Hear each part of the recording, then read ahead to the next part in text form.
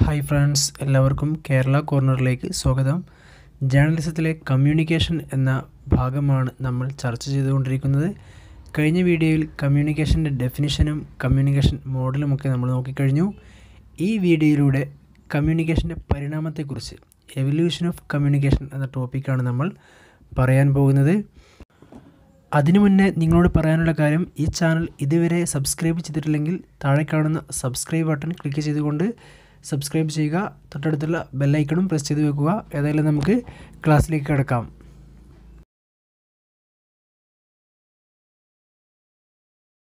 Evolution of communication എന്ന ടോപ്പിക്കാണ് നമ്മളിന്ന് ചർച്ച ചെയ്തുകൊണ്ടിരിക്കുന്നത്. അഥവാ കമ്മ്യൂണിക്കേഷന്റെ പരിണാമം ഉത്ഭവം തുടക്കം എന്നൊക്കെ പറയാം. കമ്മ്യൂണിക്കേഷൻ ഒരു സുപ്രഭാതത്തിൽ ഉണ്ടായ ഒന്നല്ല. അതിന് മനുഷ്യനോളം പഴക്കമുണ്ട്. എന്നാണോ മനുഷ്യൻ ഉത്ഭവിച്ചത്? അന്നാണ് കമ്മ്യൂണിക്കേഷനും ഉത്ഭവിച്ചിട്ടുള്ളത്. എന്നാൽ ഇന്ന് നാം കാണുന്ന കമ്മ്യൂണിക്കേഷനിലേക്ക് കമ്മ്യൂണിക്കേഷന് എത്താൻ അഞ്ച് സ്റ്റേജിലൂടെ കടന്നു പോകേണ്ടതായി വന്നിട്ടുണ്ട്. ആദ്യം അതിനെക്കുറിച്ചാണ് നമ്മൾ പറയാൻ പോകുന്നത്. ഇന്ന് നാം കാണുന്ന കമ്മ്യൂണിക്കേഷൻ സിസ്റ്റത്തിലേക്ക് കമ്മ്യൂണിക്കേഷന് എത്താനിടയായ അഞ്ച് സ്റ്റേജുകൾ അഞ്ച് കാലഘട്ടങ്ങൾ അതിനെക്കുറിച്ചാണ് നമ്മൾ ആദ്യം പറയാൻ പോകുന്നത്. ആദ്യ സ്റ്റേജാണ് ദ ഏജ് ഓഫ് സയൻസ് അടയാളങ്ങളുടെ കാലഘട്ടം. രണ്ടാമത്തെ സ്റ്റേജാണ് the age of speech and language സംസാരത്തിന്റെയും ഭാഷയുടെയും കാലഘട്ടം. മൂന്നാമത്തെ സ്റ്റേജാണ് ദ ഏജ് ഓഫ് റൈറ്റിംഗ് എഴുത്തിന്റെ കാലഘട്ടം. നാലാമത്തെ സ്റ്റേജാണ് ദ ഏജ് ഓഫ് പ്രിന്റിംഗ് അച്ചടിയുടെ കാലഘട്ടം. അഞ്ചാമത്തെ കാലഘട്ടമാണ് the age of mass communication ബഹുജനങ്ങളുമായുള്ള ആശയവിനിമയത്തിന്റെ കാലഘട്ടം.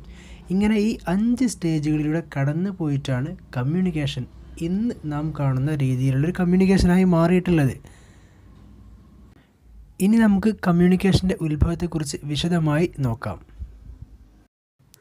ചരിത്രാതീത കാലഘട്ടത്ത് ജീവിച്ചിരുന്ന ആളുകൾ ഫൈവ് സെൻസറി ചാനൽസ് ഉപയോഗിച്ചുകൊണ്ട് ഇന്ററാക്ട് ചെയ്യാനുള്ള എബിലിറ്റി കഴിവ് അവർ ഡെവലപ്പ് ചെയ്തിരുന്നു.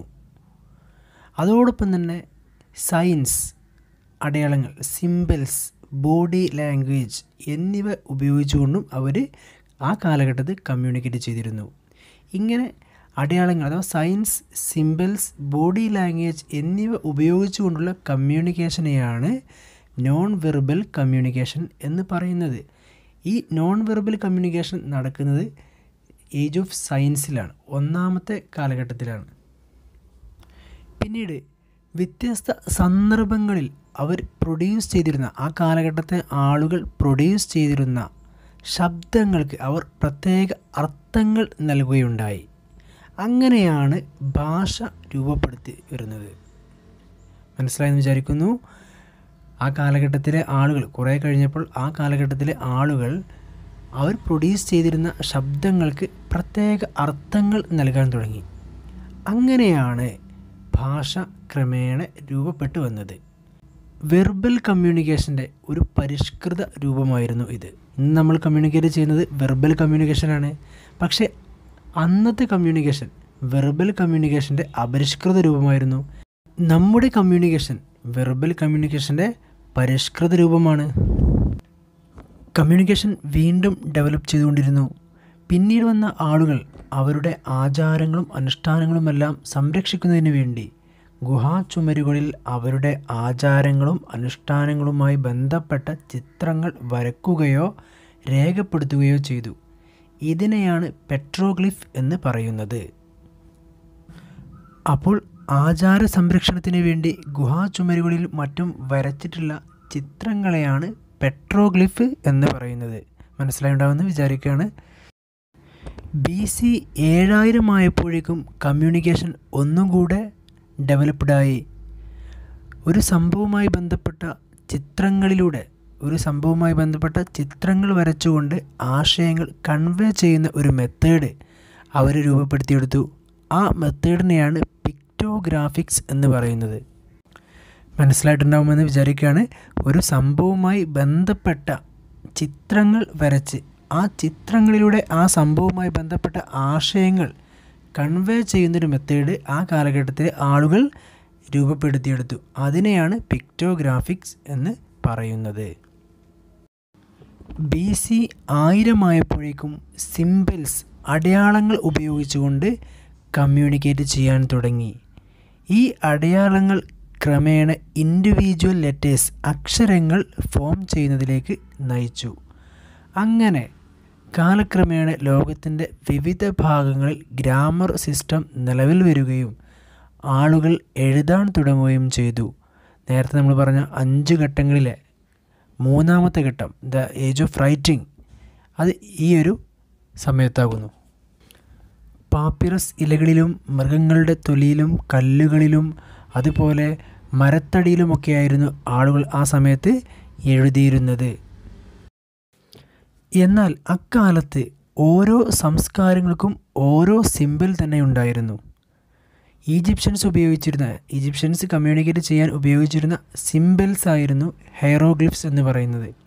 എന്നാൽ സുമേറിയൻ സംസ്കാരത്തിൽ ഉപയോഗിച്ചിരുന്ന സിമ്പിൾസാണ് ക്യൂണിഫോം ലോകത്തിലെ തന്നെ ഏറ്റവും പഴക്കം ചെന്ന റൈറ്റിംഗ് സിസ്റ്റം അല്ലെങ്കിൽ എഴുത്ത് വിദ്യ എന്നറിയപ്പെടുന്നത് ക്യൂണിഫോം ആകുന്നു.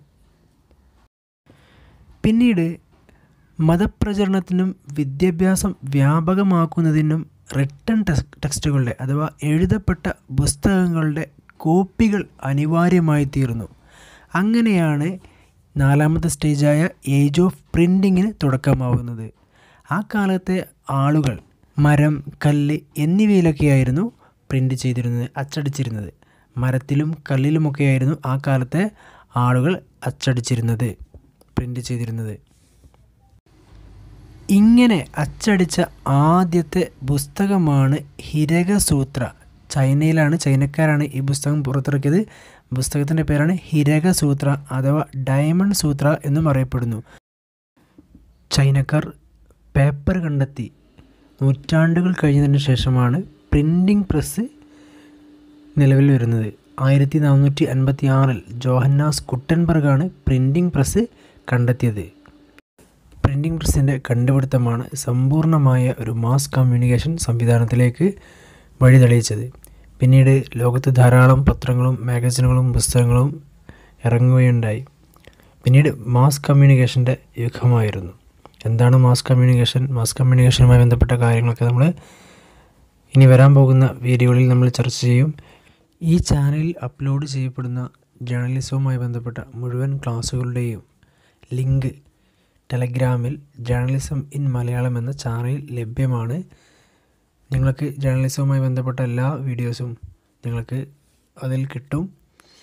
കേരള കോർണർ എന്ന ഈ യൂട്യൂബ് ചാനലിൽ പല കാര്യങ്ങളും ഡിസ്കസ് ചെയ്യുന്നതാണ്.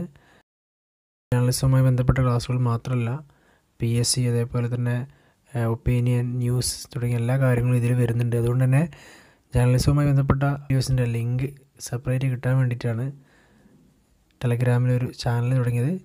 ചാനലിന്റെ പേര് ജേർണലിസം ഇൻ മലയാളം എന്നാണ്. ഞാൻ ഈ വീഡിയോയുടെ ഡിസ്ക്രിപ്ഷനിൽ അതിന്റെ ലിങ്ക് ഷെയർ ചെയ്തിട്ടുണ്ട്.